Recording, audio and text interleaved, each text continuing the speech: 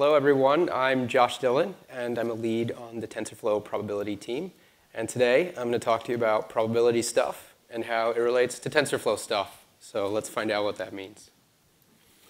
OK, so these days, machine learning often means specifying deep model architectures and then fitting them under some loss. And happily, Keras makes specifying model architecture relatively easy. But what about the loss? Choosing the right loss is tough. Improving one, a reason, even a reasonable one, can be even tougher. And once you fit your model, how do you know it's good? Does accuracy tell the full picture? Why not use mean, entropy, mode?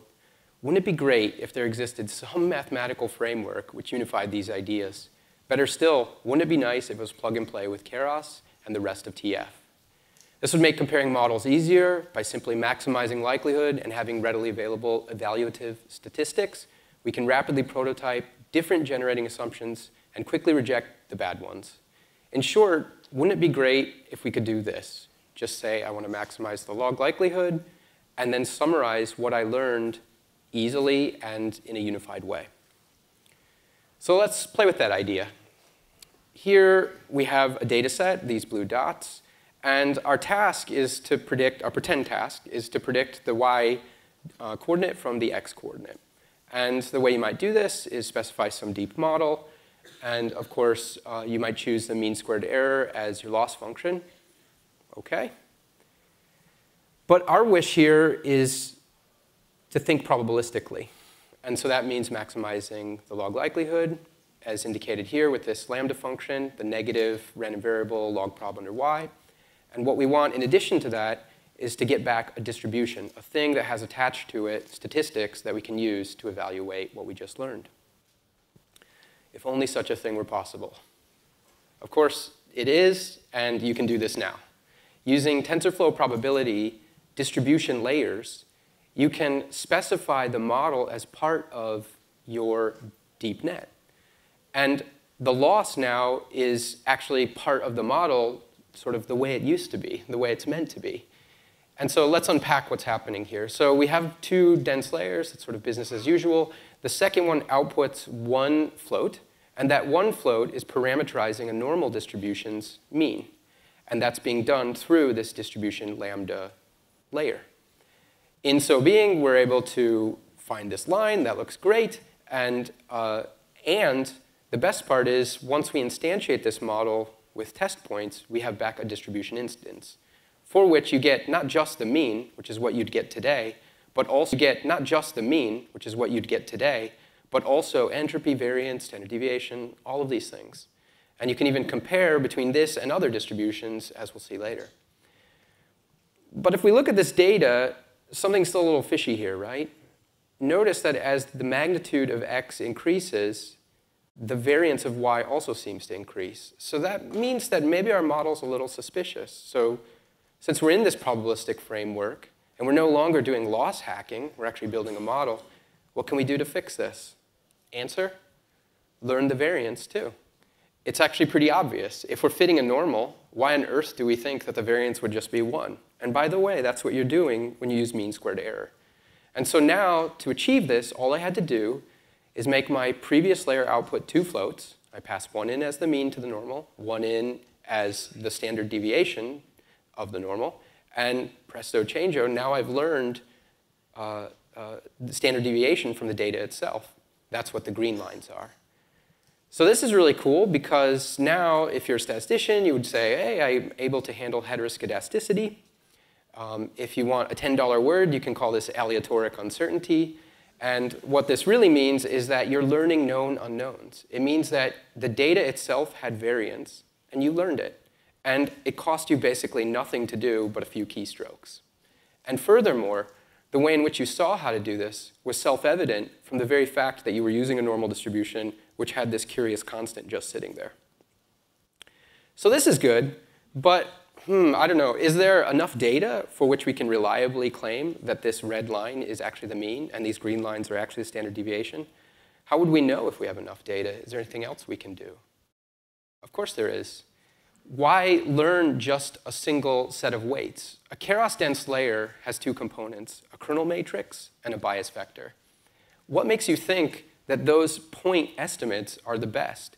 especially given that your data set itself is random and possibly inadequate to meaningfully and reliably learn those point estimates. Instead, if you use a TensorFlow probability dense variational layer, you can actually learn a distribution over weights. This is the same as learning an ensemble that's infinitely large. But luckily, it doesn't take infinitely long to train this ensemble. In fact, it takes just a little bit longer than what it took to train on the previous slides. And as you can see here, all I had to do is replace keras.dense with tfp.dense variational layer, and in so doing achieve this kind of Bayesian weight uncertainty. The $10 word here is epistemic uncertainty, but mm-hmm. again, I like to think of it as unknown unknowns. I'm not sure what my data is not telling me, so I'm going to be careful in the bookkeeping I make when tracking the weights that I learn. As a consequence, of course, this means that any model you make, any instantiation of this model is now actually a random variable because the weights are random variable. And that's why you see here all of the, the lines, there are many lines. We have an ensemble of them. But if you were to average those and take the sample standard deviation, say, then that would give you an estimate of credible intervals over your prediction. So now you can go to your customer and say, look, here's what I think would happen, and here's how much you should trust me. So this is great, right? But we seem to have lost the heteroscedastic part. Notice that the blue dots are still more dispersed on the right-hand side. So can we do both? Of course we can. It's all modular. I just have my dense variational layer output two floats instead of one, like we did before, feed that into my output layer, which is a normal distribution, and presto changeo, I'm learning both known and unknown unknowns, and all it cost me was a few keystrokes.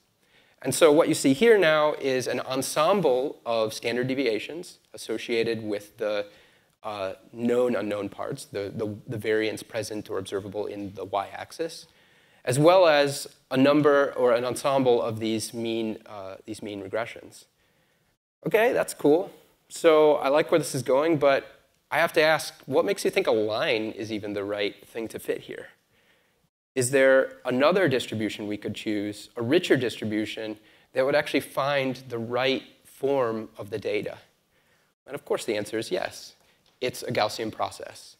By tossing in this fancy distribution, it turns out that the data wasn't linear at all. No wonder we had such a hard time fitting it. It was sinusoidal. And the Gaussian process can see this. How can the Gaussian process see this? Because it treats the loss itself as a random variable. Now, how could you do that if you're just specifying mean squared error as your loss? You can't. It has to be part of your model. And that's the power of probabilistic modeling. When you bake in these ideas into one model, you get to move things around fluidly between weight uncertainty and variance in the data, and even uncertainty in the loss function you're fitting itself. And so the question is, how can this all be so easy? How did it all fit together? with TensorFlow probability. So TensorFlow probability is a collection of tools designed to make probabilistic reasoning in TensorFlow easier. It is not going to make your job easy. It's just going to give you the tools you need to express the ideas you have. You still have to have domain knowledge and expertise, but you can, you can encode that domain knowledge and expertise in a probabilistic formalism, and TFP has the tools to do that. Statisticians and data scientists will be able to write and launch the same model. Gone are the days of hacking your model in R and then porting it over to a faster language like C++ or even TensorFlow. You can do it all in the same framework. ML researchers and practitioners will be able to make predictions with uncertainty. If you predict the light is green, you better be pretty confident that you should go. You can do that with probabilistic modeling and TensorFlow probability. So we saw one small part of TFP. Broadly speaking, the tools are broken into two components. Those tools useful for building models, and those tools useful for doing inference on those models. On the model building side, you saw the normal distribution and the variational Gaussian process distribution. A distribution just is a collection of simple summary statistics, exactly like it is in every other library. There's a few differences. Our distributions support this concept of batch shape, which automatically takes advantage of vector processing hardware. But for the most part, they should be pretty natural and easy to use. We also have something we call bijectors, which is a library for transforming random variables. In the simplest case, this can be like taking the exp of a normal, and now you have a log normal. In more complicated cases, it can involve transforming a random variable with a neural network. This includes things like masked autoregressive flows, if you've heard about it, real NVPs, and other sophisticated probabilistic models. You saw layers. We also have some losses that help you build Monte Carlo approximations to otherwise intractable calculations. Edward 2 is our probabilistic programming language that helps you combine different random variables as one. On the inference side, no uh, Bayesian library would be complete without Markov chain Monte Carlo tools, um, within which uh, one of our, we have several transition kernels. One of them is ha called Hamiltonian Monte Carlo, which naturally takes advantage of TensorFlow's automatic differentiation capability. We also have tools for performing variational inference, again, taking advantage of TF's automatic differentiation and optimizer toolbox. And of course, we have our own optimizers that often come up in probabilistic modeling problems, such as Nelder-Mead, BFGS, things like that. The point is, this toolbox has maybe not everything, but certainly it has most of what you might need to do fancier modeling to actually get more out of your machine learning model. And it doesn't have to be hard. You saw the Keras examples were just a sequence of one-line changes. So, of course, TensorFlow probability is used widely around uh, Alphabet. DeepMind uh, uses it extensively. Google Brain uses it. Google Accelerated Sciences, product areas, infrastructure areas even use it for planning purposes. Um, but it's also used outside of Google. So Baker Hughes GE is one of our sort of early adopters of TensorFlow probability. And they use it to build models to detect anomalies. Anomaly detection is a very hard problem because hopefully your data set never has the anomaly you're trying to detect. For example, anyone who flew out here would be happy to know that Baker Hughes GE uses this anomaly detection to predict the lifespan of jet engines. And if we had a data set that had a failing jet, jet engine, that would be a tragedy. And so using math, we can get around this by actually, or they get around this, by modeling models and then trying to, in the abstract, figure out if those are going to be good models. So what you see is their data processing pipeline. The orange boxes use TensorFlow probability extensively. The orange uh, uh, uh, border box is uh, where they use TensorFlow.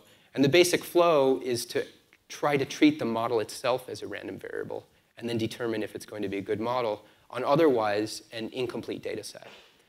And from this, they're able to do they get remarkable results, uh, dramatic decreases in false positives and false negatives uh, over very large data sets uh, in complicated systems. So the question is, who will be the next success story? Try it out. It's an open source Python package built using TensorFlow that makes it easy to combine deep learning with probabilistic models. You can pip install it. Check out tensorflow.org slash probability. And if you're interested in learning more about Bayesian approaches, check out this book, which we rewrote using TensorFlow probability, um, within which you can learn, like I said, Bayesian methods, but also just how to use TensorFlow probability. If you're not a Bayesian, that's fine too. We have uh, numerous tools uh, for frequentists. Uh, we have a second order generalized linear model solver, uh, which you should care because if you're doing linear regression, it could solve that problem on the order of 30 iterations which definitely cannot be said of standard gradient descent.